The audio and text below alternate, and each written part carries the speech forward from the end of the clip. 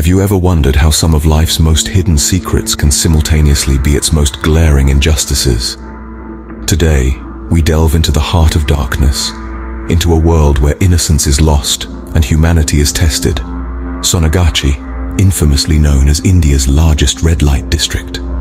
Sonagachi, a name that resonates with a chilling reality for thousands of women and girls, thrives as an unregulated black market.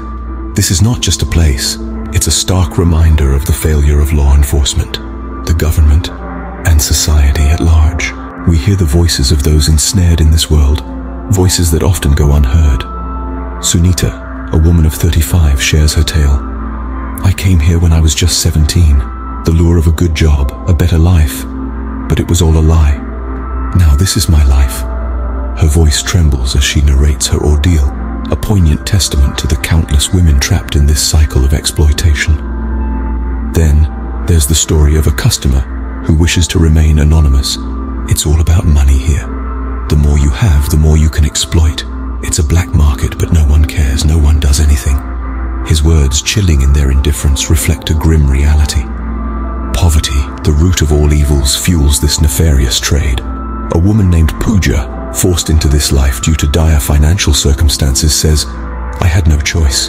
There was no food at home. My siblings were starving. I thought I would work as a maid, but they sold me here. Her voice, filled with regret and despair, paints a bleak picture of the circumstances that led her to Sonagachi. Despite the grim reality, there are glimmers of hope. NGOs and social workers are tirelessly working to rehabilitate these women and provide them with alternative livelihoods but their efforts are but a drop in the ocean. They need more hands, more voices, more resources. Reflect on this for a moment. In a time when we pride ourselves on advancements and progress, there exists a world ignored and neglected, a world in need of our attention, our compassion and our action. As we conclude, remember, change begins with awareness. So, take a moment to share this message, to talk about Sonagachi, to bring this hidden world into the light.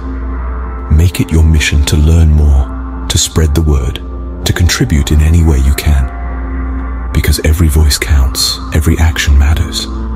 Together we can help bring an end to this cycle of exploitation and create a world where everyone has a chance at a better life.